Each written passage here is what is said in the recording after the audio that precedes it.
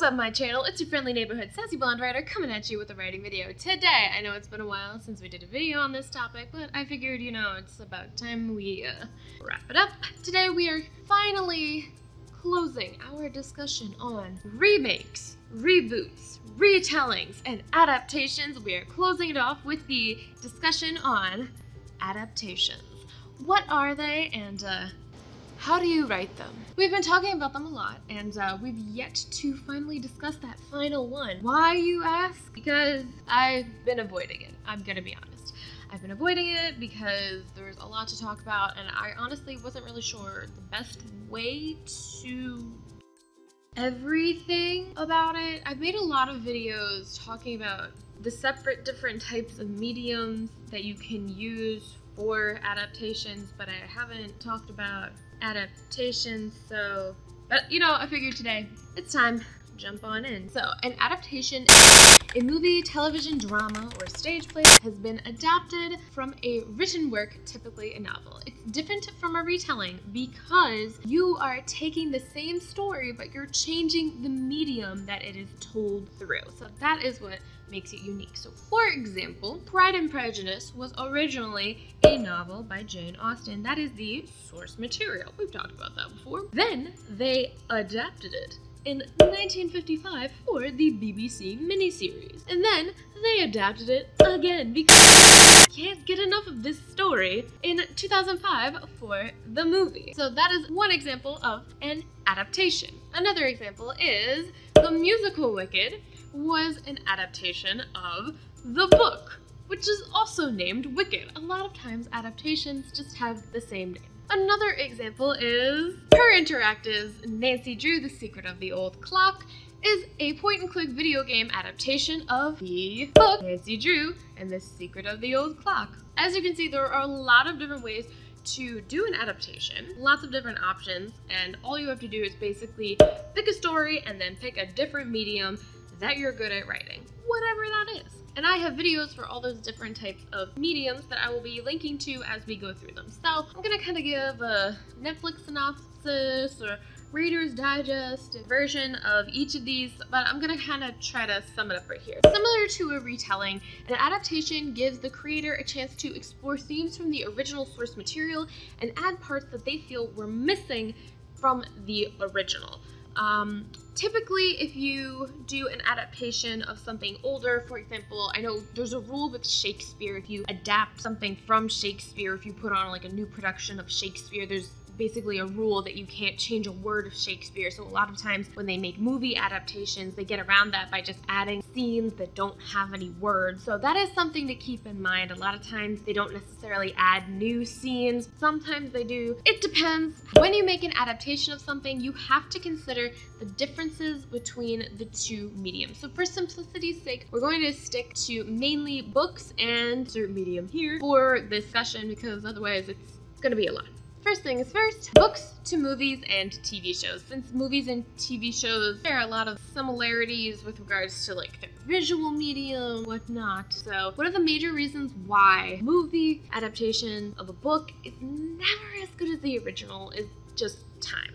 And I go into this a little bit in my whole video discussion that's dedicated to this topic, but one of the major factors is just time. The average book is, this is probably a low estimate, but about like 500 pages. The average screenplay is like 200 pages. You do the math. So naturally, there are going to be things that are cut when you're going from, you know, book to a movie. There are naturally things that are going to have to be cut. So this is one of the reasons why with the rise of a lot of streaming services that there are a lot more books and I've noticed a lot more comic books are getting adaptations into not movies specifically, but a lot of miniseries and TV shows um, because the audience tends to just prefer the addition of other plots as opposed to cutting things for a movie. And generally, when you adapt something for a TV show, because a TV show is longer, you adapt a book for a TV show, they end up having to kind of stretch it out a little bit more. So they end up having to add things to the original plot of the book kind of stretch things out a little bit more. So people are usually happier when you have to add things to the original plot rather than take away what could potentially be their favorite part. That's why you're probably seeing a lot more books being adapted into TV shows rather than the other way around, rather than books being adapted into movies. In TV shows and miniseries, you also have the opportunity, just because you have the luxury of time that most movies don't have.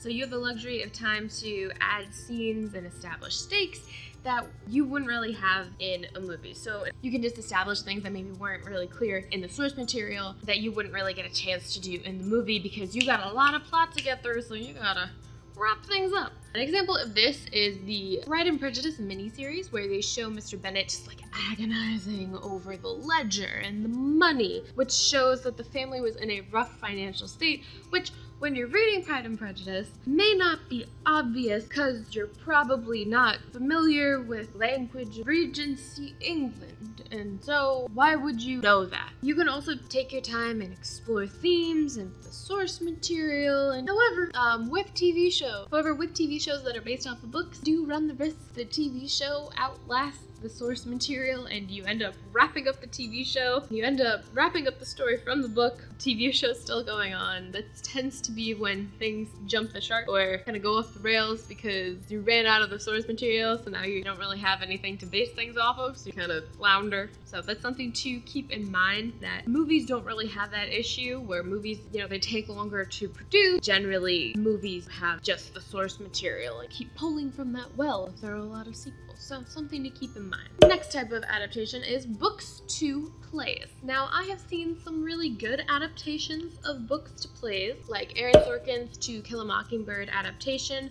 which was um, a play adaptation of To Kill a Mockingbird by Harper Lee, where he added some scenes between Calpurnia and Atticus Finch. Um, Calpurnia was the maid, and Atticus Finch is the lawyer. He is, I, I think he's just kind of taken on to be the uh, like pick the poster boy for white savior trope. And um, it was clear when you were watching the play that Aaron Sorkin knew this, and so he had a couple of scenes where Calpurnia and Atticus Finch have a dialogue. That whole thing is kind of addressed where it's really interesting. Calpurnia kind of calls Atticus out on this. It's really interesting because these additional scenes, they give Calpurnia more of a meteor role and it, I remember reading the book and I, I always wanted that scene. And so it was really nice to see the play and then have that scene happen because it was kind of something when you read the book, it was an interaction between Atticus and Calpurnia that you always wanted to happen but never did in the book. And it was also kind of humanizing for Atticus Finch because when you read the original book, Atticus Finch is just kind of this all around like Mary Sue kind of character where he's just like oh, always does the right thing and he's just perfect all the time. Blah, blah, blah, blah, blah. The additional scenes kind of helped give it more more of a modern perspective, and the direction was interesting. That's another thing that you have to keep in mind when you adapt something for a play is that if you're the creator or the playwright, you have to think about the additional scenes and how you can address modern criticism through that lens, especially keeping in mind like how old the play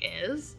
But you also have to keep in mind any direction that the director might take and how that might impact the audience with like the stage flow and how the audience is going to be able to follow the story. Because one of the things with To Kill a Mockingbird is I mean the way the story is told it's kind of disjointed because it's basically a child's dream of consciousness trying to piece together the story of this one summer so it was a really good adaptation of and i've also seen some really bad adaptations of books to plays 1984 where the playwright focused on the love story, which, if you've read 1984, you know is the weakest part. But you know, that's that's what this guy did. He tried to turn 1984 into this dystopian love story.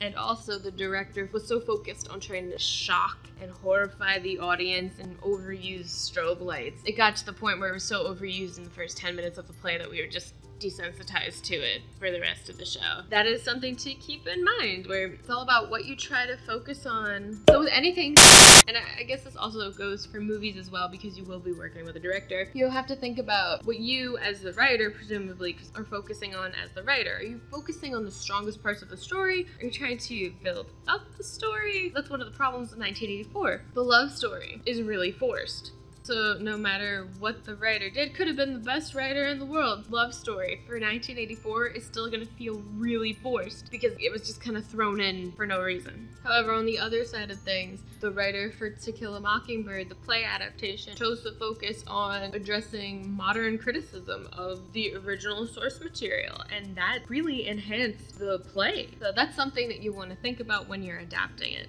Books to musicals. In my video on storytelling and musicals, I obviously talk about it more in depth because it's dedicated to this topic. So I'll just kind of speed through it a little bit here. I'll just say that uh, music in a musical, when you're adding it to a story, music should always be used to enhance the dramatizing of the story, or you could you should use it to entertain the audience while you tell them something. So it's all about show versus tell. When you're showing them something through dramatization, you want to use music to kind of enhance that. And when you're telling them something, you want to use music to kind of entertain the audience while you're telling them. Just something to keep in mind. Watch the video about it if you want to learn more. Books to video games. Now, in my video on video game story writing, I obviously go more in depth with this because duh. So I talk about the different options that there are for video games. Before you get started, obviously, think about your story in an interactive sense. If you were going to make this story interactive, how would your player interact with the world? And from there, you can determine what type of game and the primary player loop would be from there. So, for example, let's go back to the example from the beginning. Nancy Drew, the good old Nancy Drew games. You can probably see it on my shelf. I do love the Nancy Drew games. I play other games, but I do enjoy the Nancy Drew games. Like, and I have a special place in my heart because that's like how I started playing video games. The Nancy Drew games, with a lot of mysteries, they tend to be point and clicks because, I mean, you point and click and interact with the clues that way. So if you're trying to unfold a mystery, obviously somebody has to walk around. That would be the primary player loop. They have to walk around, interact with hidden, with different objects, play with different puzzles. If you're making a mystery, that is something to keep in mind. When you want to adapt a book to a video game, it is very important to establish what type of video game it will be and what the primary player loop will be from there. I think you should figure out the type of video game first because that will help you figure out the primary player loop from there. Is it going to be action adventure game?